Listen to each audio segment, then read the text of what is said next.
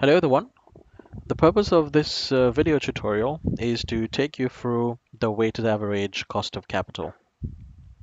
Now, if you refer to the class slides, um, you will see that, uh, well, we have a definition here. The cost of capital is a composite cost to the firm of raising finance to fund its project.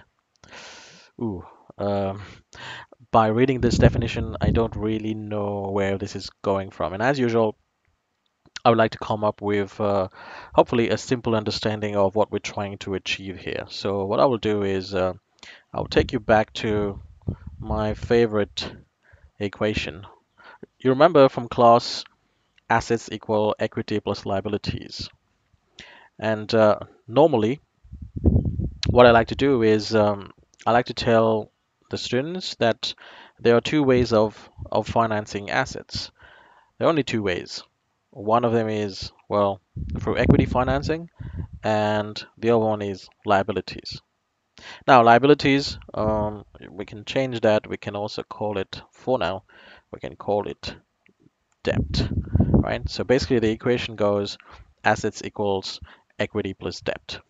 Now, to fund the assets, normally if we are to attract equity holders, so basically we approach shareholders uh, and convince them to buy shares uh, in the company, what they want is they would want some form of return, right? Uh, the shareholders wouldn't put their money in the business if they didn't have a form of return. And we also, well, referring to class, we calculated the return to the shareholders using, well, you will remember the CAPM or the capital asset pricing model.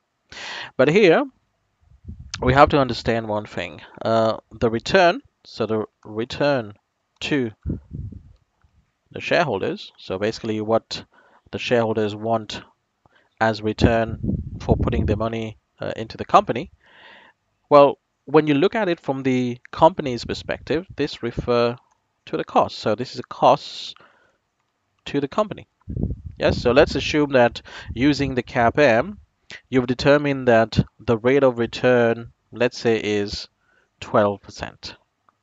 Okay, so this is a return to the shareholder, but at the same time, it is also a cost to the company. Because think about it, this is for the company, you have to guarantee a return of 12% to the shareholders. When it comes to debt, now debt, let's try to be very, very simple here. Uh, let's assume that to fund the purchase of assets, you also had to approach the bank.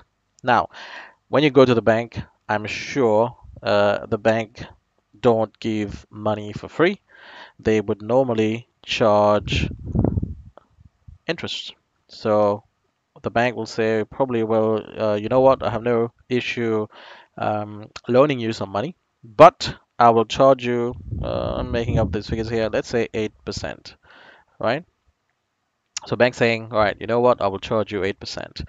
Uh, but think about it again. Um, for the company, this is a cost of debt, right? So 12%, remember, if we're um, guaranteeing a return of 12% for the shareholders, this is a return to the shareholders, but this is the cost to the company.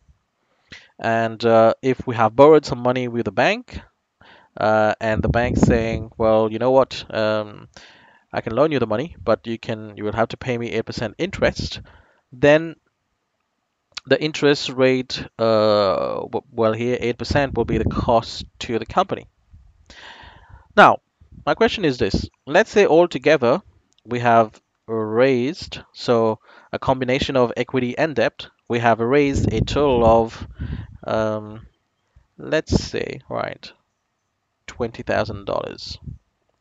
Yes, in total we have raised $20,000. Uh, and we have raised this money by using a combination of equity and a combination of debt. Now my question to uh, is this: Is it fair to say that the twenty thousand dollars, the cost is only 12%. Is it fair to say that, uh, remember, we raised the $20,000 through equity and debt, right? So it was a combination of equity and debt. Is it fair to say that the cost, uh, we can call that, well, we raised $20,000. We can also call that, well, in financial terms, capital.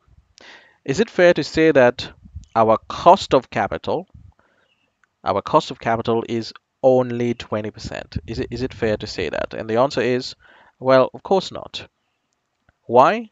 Because remember, 12% um, is only the cost of equity finance, right? So it's not fair to say that the cost of capital is only 12%.